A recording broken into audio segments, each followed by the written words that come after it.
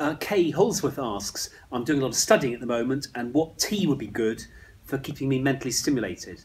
Okay, well, this is a great question. I'm sure at the moment there's lots of students who are preparing for their um, exams, and I'm sure there's lots of people who would love to know uh, the answer to this question. The first thing I'd say is well done for drinking tea, not coffee.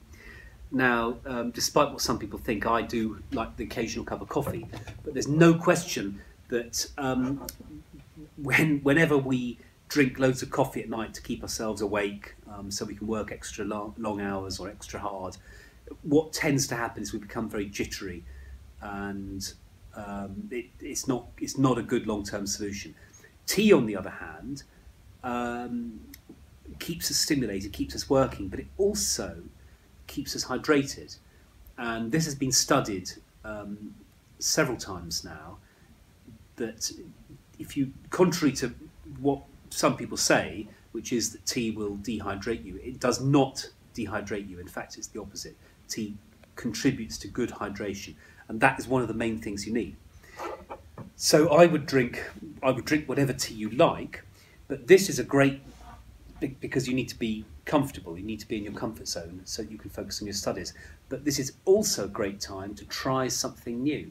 So I would pick one or two teas that you have without milk, possibly, that you haven't tried. And this is because if you're spending a lot of time at home studying, this is a great time to treat yourself and ring the changes and, and just and, and keep things fresh. Um, so if you normally have Portsmouth tea with milk or a, a, traditional standard breakfast type of tea with milk, why not try um, a very light, refreshing afternoon tea such as Lapsang Souchong? Lapsang Souchong is also, in my opinion, the most refreshing tea you can possibly have when it's hot in the summer. So I would say the first extra tea to add to your normal breakfast one is Lapsang. The second tea I would add is not a tea at all, but peppermint. I would add peppermint tea uh, because it's absolutely fantastic for freshening you up, um, keeping your digestion and, and your stomach uh, relaxed and settled.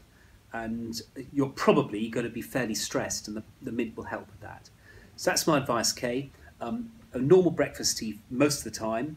Avoid coffee as much as you can. Add lapsang and add peppermint and I hope that helps and good luck with the revision.